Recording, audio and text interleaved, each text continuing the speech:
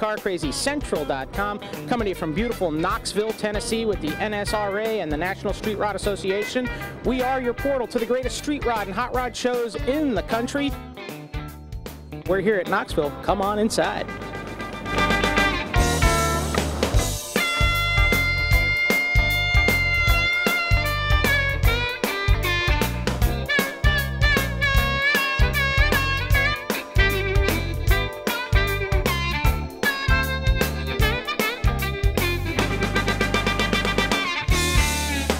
Told you there was going to be 3,000 cars. Take a look down the hill. This is just the foyer to today's event.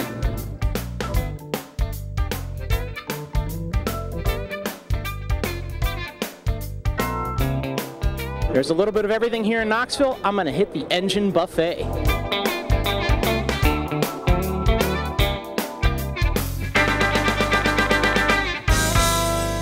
I'm here with Marketing Director Jim Rowlett of the NSRA. How you doing, Jim? Doing good. Good. We just saw him in Oklahoma City where he was telling us a little bit about what it takes to qualify to be a street rod, which is a pre-49 car with some kind of updates generally. Why don't you tell us what we might see here that's going to be a little bit different than what we just saw in Oklahoma City? Well, a lot of the cars are the same. We have the classic 32s, 33s, 34s, but this part of the country we see a lot of the uh, larger vehicles, the Buicks and Chryslers and those kind of vehicles in this part of the country. Is the event itself getting bigger or smaller over the years? As cars get older, fewer of them on the road. What's what have you seen in the last few years? Well, the event, as far as uh, participation, has stayed very consistent. We're over 3,000 cars here, which is uh, uh, where we've been for several years. Uh, we look for more, but uh, that's where we're at now. Okay, and what is it that makes pre-49? Who chose 49, or what determined 1949? There's two major things that occurred in 1949. Uh, the, the manufacturers did away with running boards and they did away with the uh, bolt-on rear fenders uh, on cars. Everything went to a more streamlined type effect. So 48 was the last year that, uh, that we had those things. Everyone went in 49. We're going to check out some of the rods today. Thank you so much for your time, Jim. You bet. Glad you're here. Glad to be here.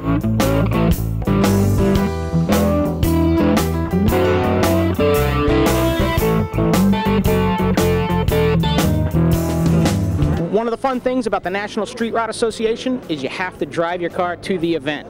Driving your car to the event means some of you are going to run into some problems. So even here in Knoxville, if you have a small problem with your rod, where do you go? You got to drive to Michigan. Michigan Hot Rod Association comes to their shows where guys can come, borrow tools, and work on their car and get them up and running. I'm here with Bill Large, who's, in, who's with Michigan. Bill, what kind of problems do you see? Is there a most common problem? In?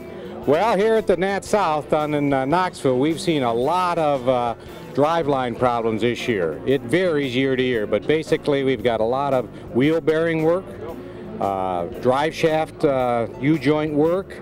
We've had uh, rear suspensions come loose.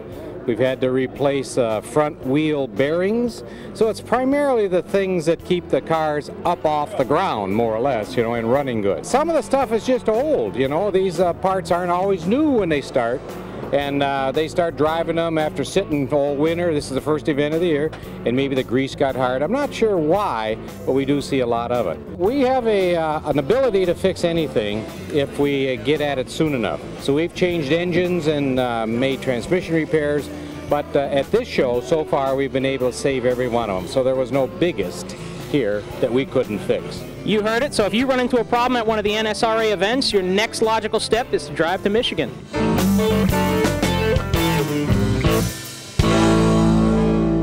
I'm here with John Shea, who brought what was once a 39 Coast to Coast. Tell us a little bit about what you did with your rod, John. Uh, this was a 39 Coast to Coast sedan, and uh, basically we bought it and cut it up. We cut it in about 30 different places.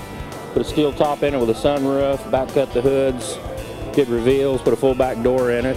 Uh, did a lot of body work on it. And sunroofs weren't around back then. Where'd you get the sunroof from? It come out of an 87 Celica GT. Nice mix of uh, new and old there. He's even got four-wheel disc brakes, something I love to see on the old rods.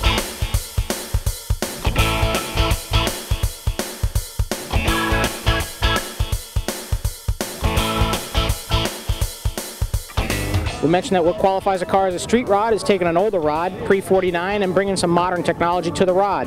Some of that technology is required, some of it's optional. This is where they inspect for the required technology.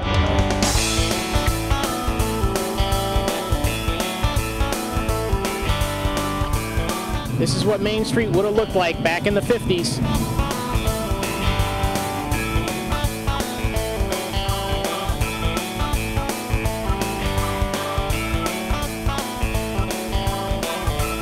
Beautiful lime green 39, coast to coast. And this is Corky Pelzinski, the owner. Tell us a little bit about your car, Corky. Uh, it's just a 39 coast to coast. I put it together the last three years and uh, had to hurry to get it together to get it here, but uh, we made it. It's a great color. What do you call this? It's called lime gold. It's a PPG color. It's uh, actually a 2005 Mustang color.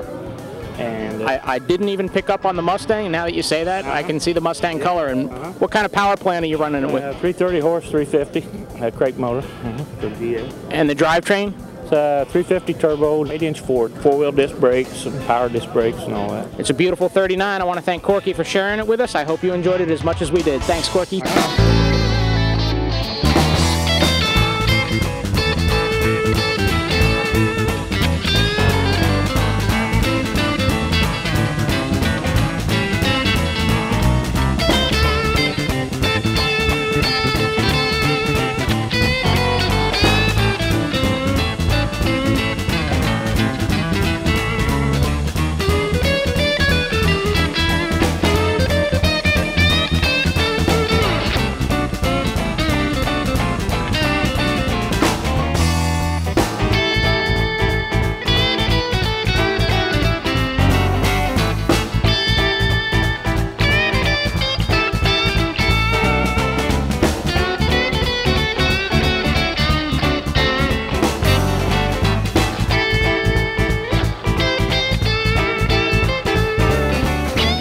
Beautiful Hudson Terraplane. I'm here with the owner, Glenn Reeves. Glenn, what'd you find? Uh, when you found it, what condition was it in, and what'd you do to it? I had a 35 I was building, and I seen a picture of a 34 convertible and fell in love because they looked like they had a chopped top and had to have it.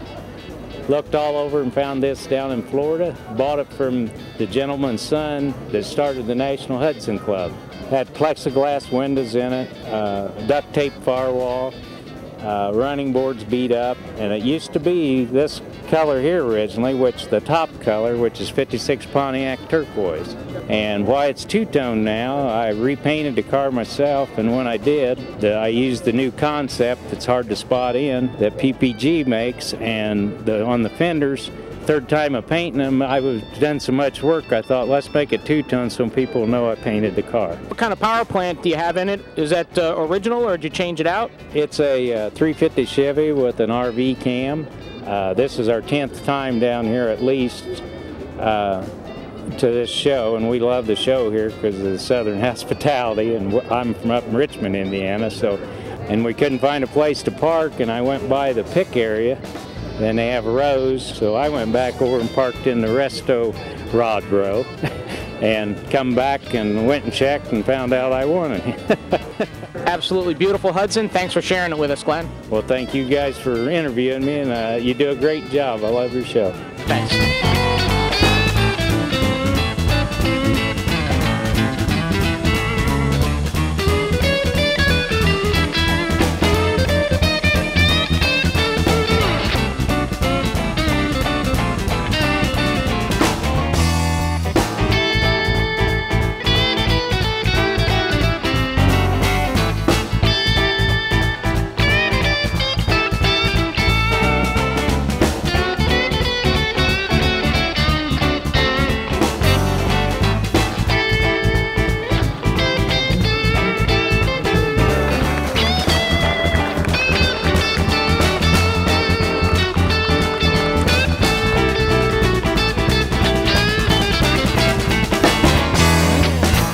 Blast here in Knoxville this weekend. I hope you enjoyed some of the great cars that we're able to share with you. And while you're on the website, be sure and click on the community. Check out some of the great rides there. Maybe post a few pictures of your own. I'm Tommy Darrell from Knoxville, Tennessee. We'll see you next time.